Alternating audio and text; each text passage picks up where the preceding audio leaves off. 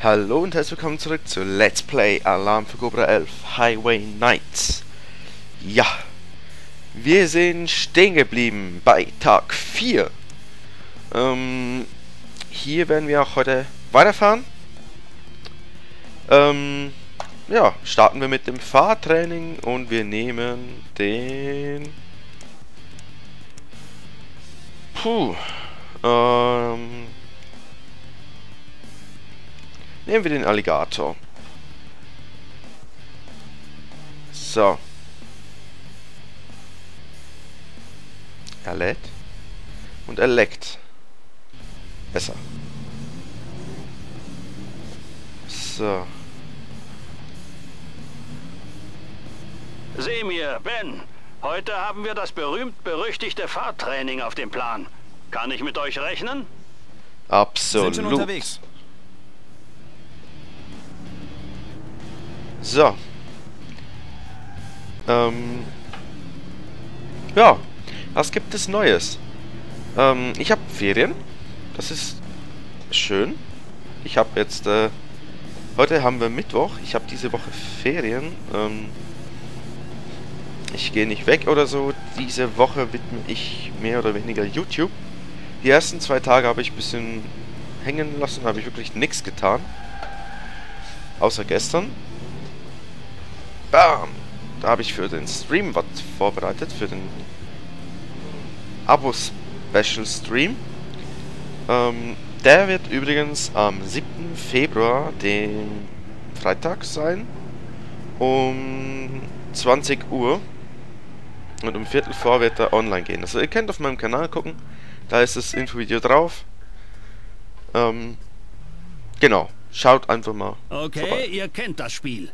Ihr fahrt in diesem Areal von einem Punkt zum nächsten. Solltet ihr irgendwo anhauen, seid ihr raus. Ihr habt nur ein paar Minuten für möglichst viele Punkte. Der Rekord steht schon seit einem Jahr. Los, Emir, den knacken wir. und wie wir den knacken.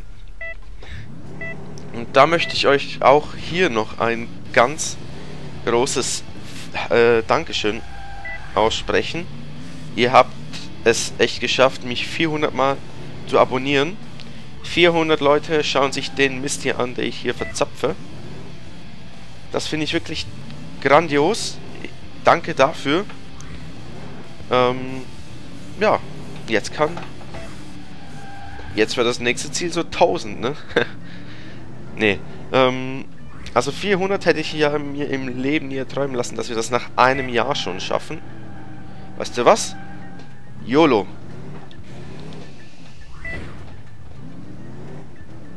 Ähm, genau, so nach einem Jahr, der Kanal ist jetzt exakt ein Jahr alt. Also eins, zwei Tage ähm, Differenz, aber er ist genau ein Jahr alt, der Kanal. Und nach einem Jahr schon 400 Abonnenten. Hätte ich echt nie ge gedacht, wenn mir das wenn mir gesagt hat, hey, hätte, hey, du hast nach einem Jahr dann 400 Abonnenten, hätte ich gedacht, pff, du spinnst, ja. Ähm, aber es ist wirklich eingetroffen. Es ist wirklich krass. Und ja, ein herzliches Dankeschön an euch. Und deshalb auch der Abo-Livestream. Ich werde, denke ich, ab und zu mal jetzt Livestreamen, jetzt wo ich herausgefunden habe, wie es geht. Damit ich noch ein bisschen mehr Übung drin habe. Wenn ich Zeit und Lust habe, werde ich dann einfach, na, einfach mal streamen. Ähm, ja. Erwartet nicht jede Woche einen Stream, aber so alle paar Monate mal. ja, ist nicht oft, aber halt ab und zu mal einen Stream werde ich versuchen hinzukriegen.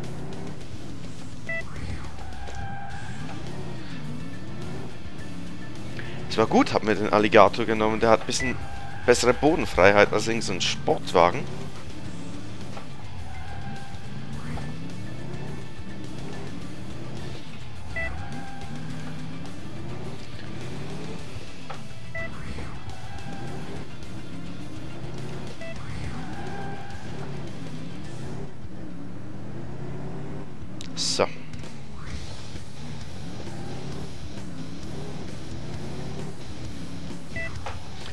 YOLO!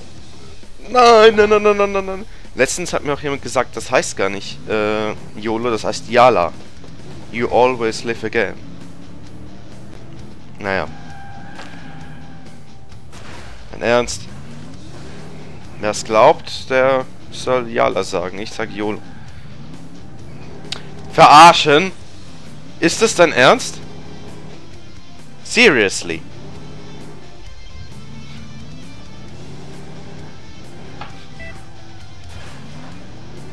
Komm rum. Also der Wagen ist für so ein Jeep echt wendig.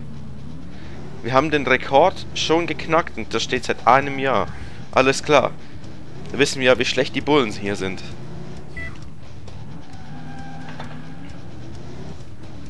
Ich prügel den Wagen auch ein bisschen und ich denke, die anderen werden nicht hier einfach so YOLO-mäßig runterspringen. Die werden, denke ich, sich an die Straßen halten. Wäre auch günstiger, aber ich muss ja nicht bezahlen. Falsche Seite. Hier rum. Also hier bin ich jetzt auch schön am Bruder mit dem Lenkrad. Links, rechts, das ist ein schöner Parcours zum Lenk um hier schnelle Lenkbewegungen zu machen.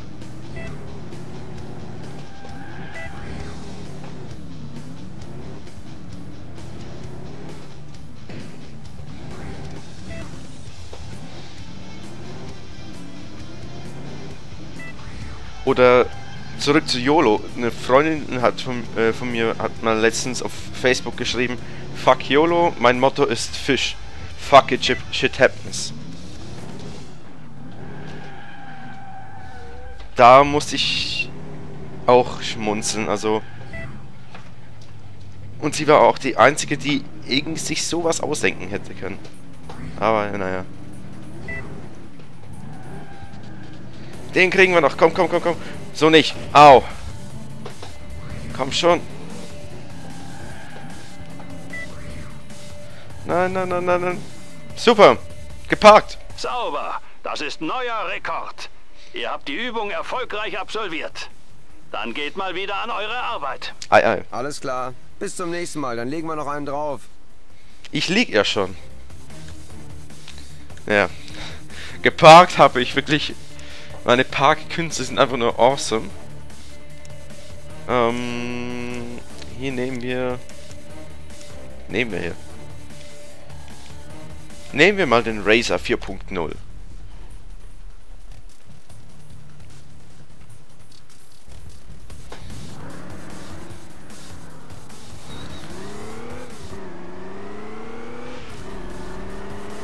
Ja, geht. Moin Jungs, habt ihr Lust eine Runde im Dreck zu spielen? Ich verkneife mir jetzt mal die doofen Sprüche. Besser ist das. Wir tauschen heute mit dem 4x4 Club die Wagen und Strecke. Wenn ihr wollt, könnt ihr mitfahren. Beide Rennen werden fürs Turnier gewertet. Beide? Ja, es sind zwei Rennen geplant. Ein Rennen mit richtigen Offroadern und eines mit Monster Trucks. Na, das wird den Kleinen hier aber freuen. Endlich mal ein großes Auto. Wir sind dabei. Dann sehen wir uns gleich an der Offroad-Strecke vom 4x4 Club. Wisst ihr, wo das ist? Wow! Klar. Fuck! Den habe ich nicht kommen sehen. Aber da ich weiß, wo das Ding ist, bin ich hier schon mal hingefahren. Ähm, wir werden jetzt Offroad fahren. Das wird mein Force Feedback freuen. Weil das dann die ganze Zeit nur am Rattern ist. Deshalb wird es gleich bei euch wahrscheinlich auch ab und zu mal knacken. Wenn nicht sogar jetzt gleich 5 Minuten lang. 10 Minuten.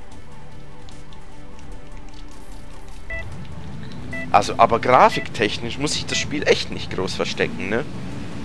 Also die Lichteffekte hier sind ja nicht so schlecht. Also es gibt schlechtere.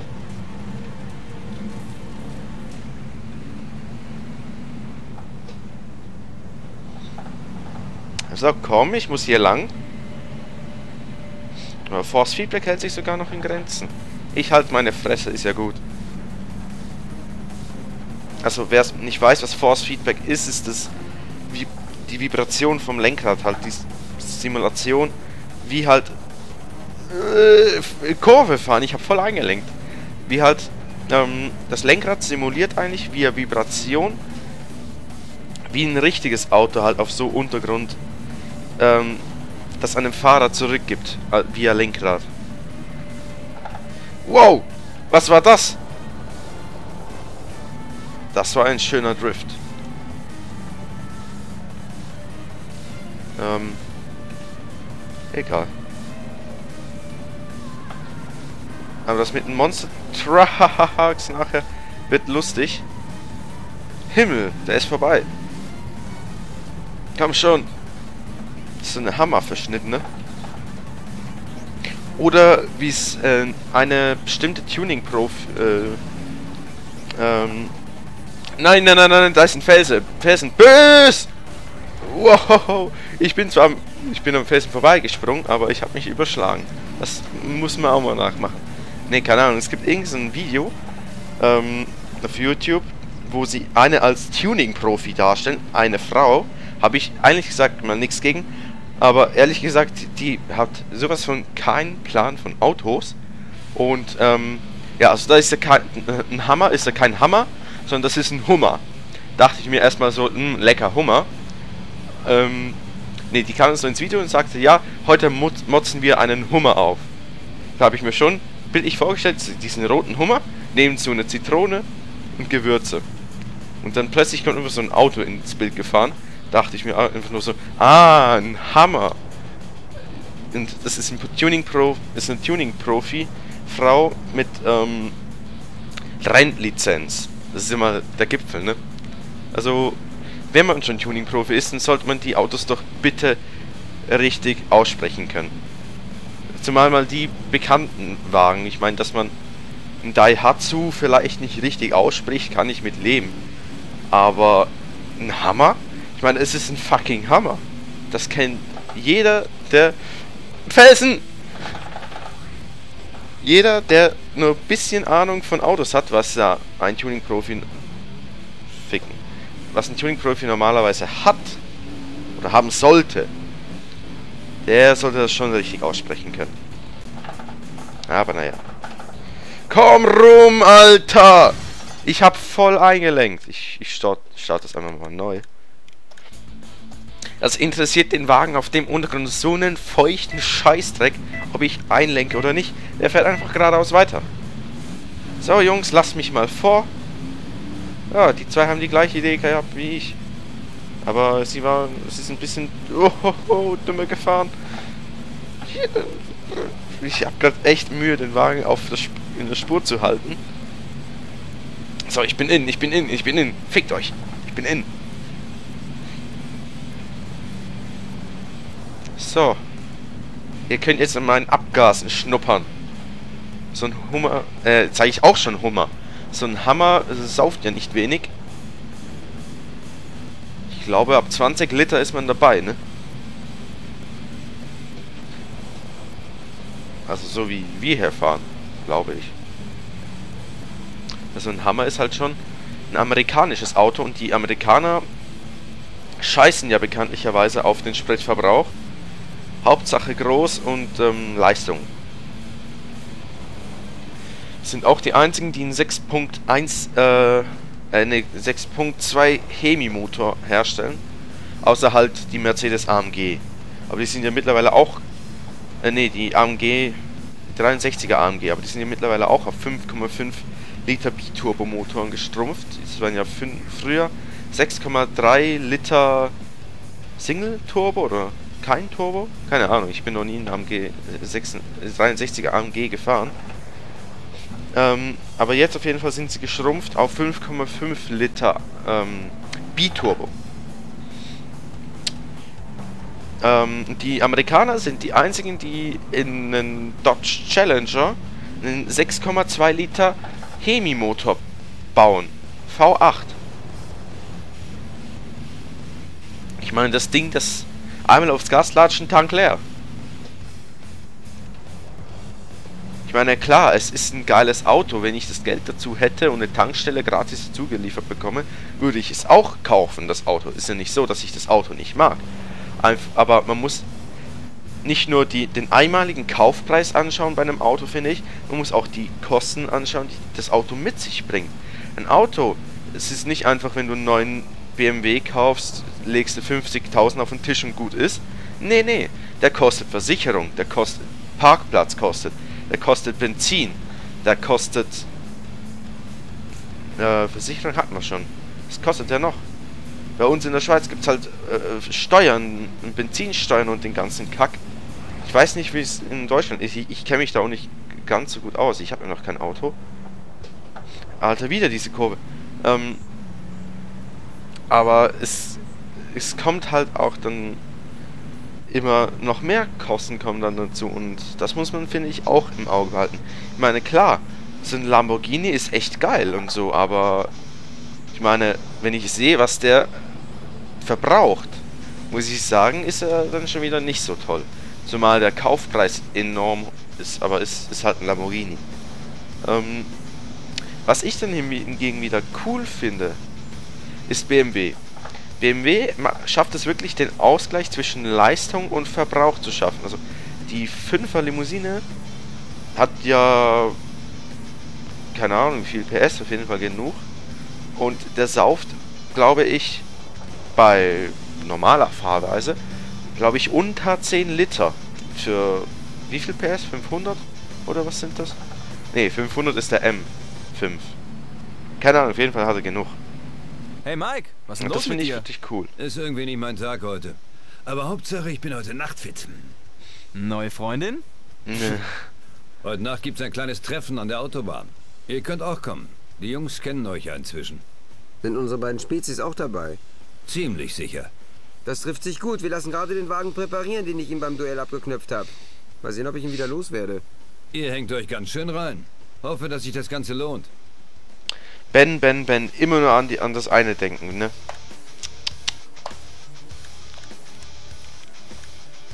So, Spurensuche. Ich nehme, weil ich gerade so vom BMW schwärme, ne, nehme ich den Semir, Ben, Semir es gibt 3.0. eine Spur.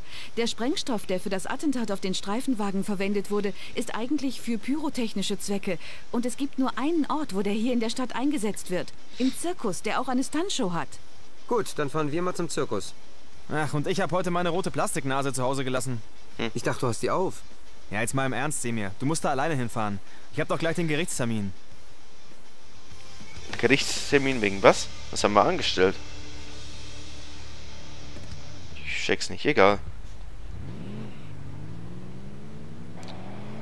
So, ich hoffe es stört euch nicht, dass ich von dieser Kameraansicht fahre, aber ist halt besser mit Lenkrad als von dieser Ansicht.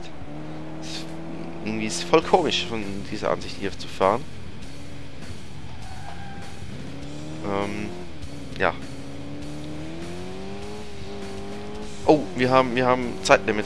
Ist ja logisch, ne? Wenn wir zum Zirkus müssen, dann müssen wir das in einer Minute schaffen. Sonst, sonst ist es nicht, nicht ganz koscher. Wehe, du bist nicht in einer Minute beim Zirkus, mein lieber Junge. Dann gibt, dann gibt's Stress. Dann gibt's eins auf die Fresse.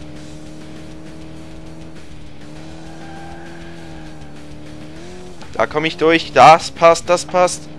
Es hat ganz knapp gepasst.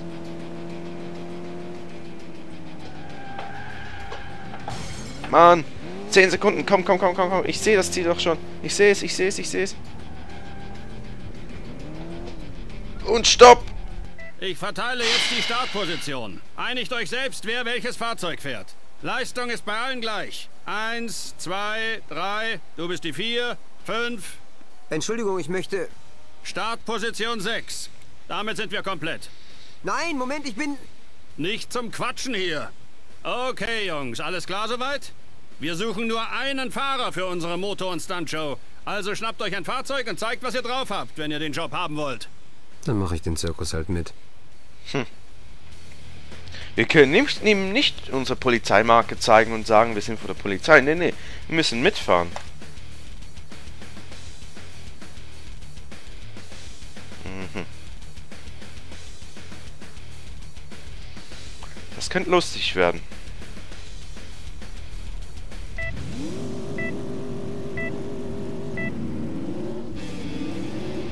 Komm, mach dich vom Acker.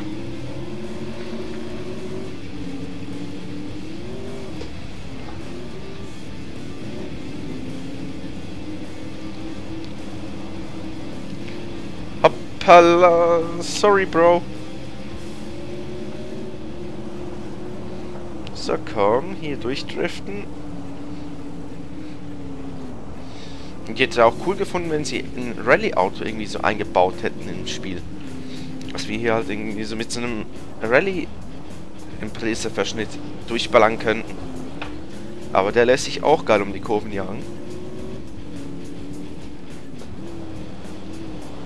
Jetzt habe ich raus, wie man die Kurven fahren muss. Einlenken, vom Gas gehen, wieder drauflatschen, dann kommt das Heck. Wenn er mal nicht will, ist das eine gute Methode. Nein, nein, nein, nein, nicht abheben. Hier heben die Autos aber auch immer ab, ne?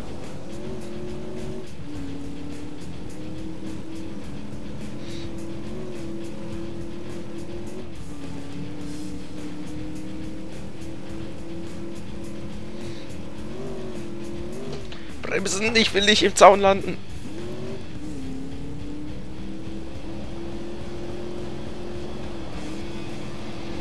Komm rum.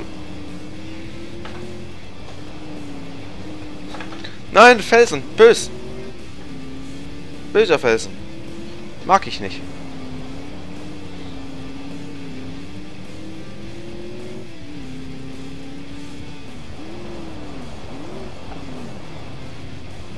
Das Automatikgetriebe ist im Arsch, ne?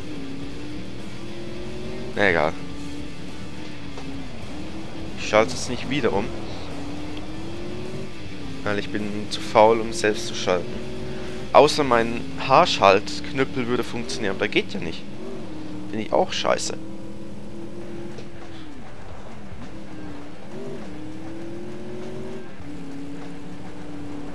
Komm rum, Mann!